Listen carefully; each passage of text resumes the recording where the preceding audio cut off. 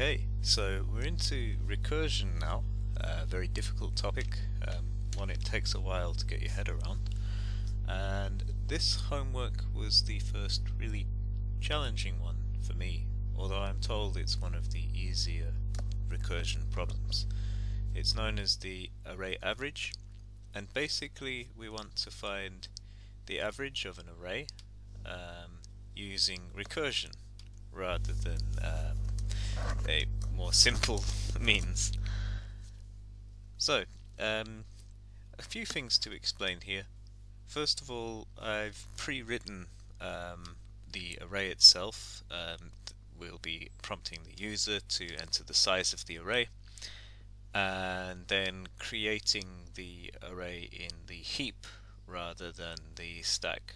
Um, that this uh, pointer here is starts pointing at null then we create um, our array in the heap memory using this.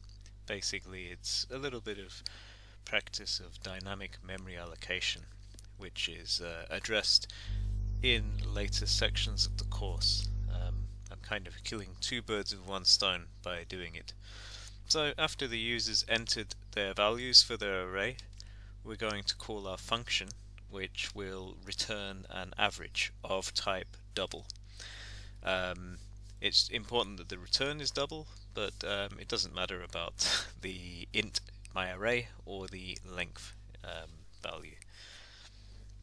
So um, you've got to think very carefully about the base case. Um, it should be quite intuitive. Uh, essentially, if the length of our array equals 1, then we return the first element in our array, which is um, index 0, array index 0. Um, here's where it gets a little bit tricky. Um, basically, when we're doing recursion, we have to kind of take a leap of faith um, that um, when we make a call, um, let's say in in this case, uh, our array is uh, 1, 3, uh, 4, 6 and 7 and that means our length, the number of elements entered um, is 5 so uh, when we make a call to this uh, function um, we're starting from length equals 5 um, and we're trying to use the array and the length to calculate the average.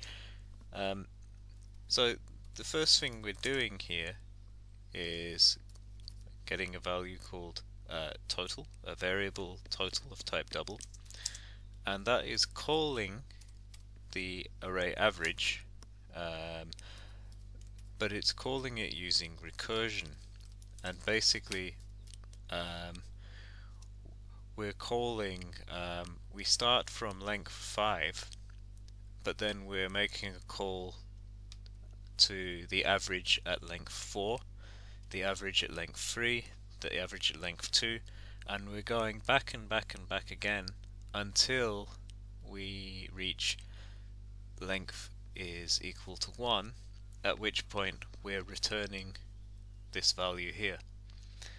However, after we've done that that's not what we're returning alone. We're going to go back to the other calls and return the actual average um, somewhere down here.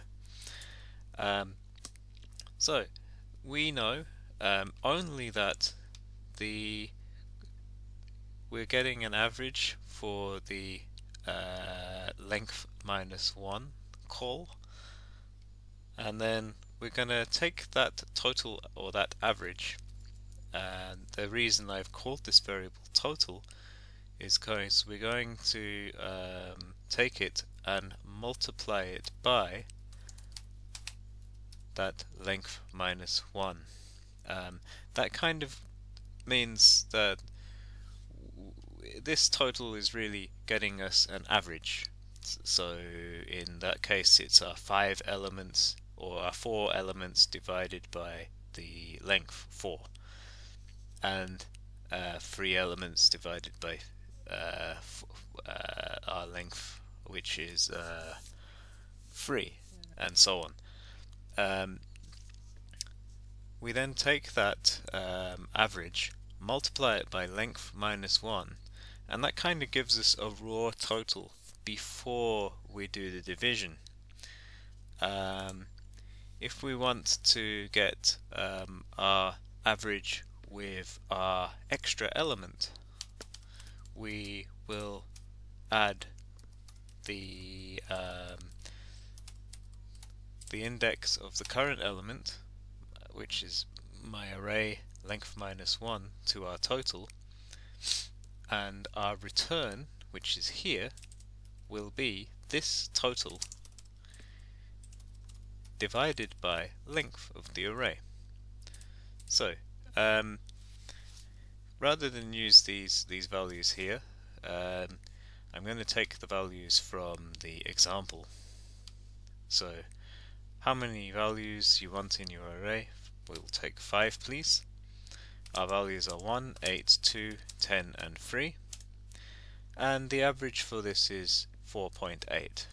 Um, hopefully this explains the array average um, and recursion in a little detail but I would encourage anyone learning recursion to sign up for the course and listen to Dr. Ibrahim's far superior explanations. Thank you.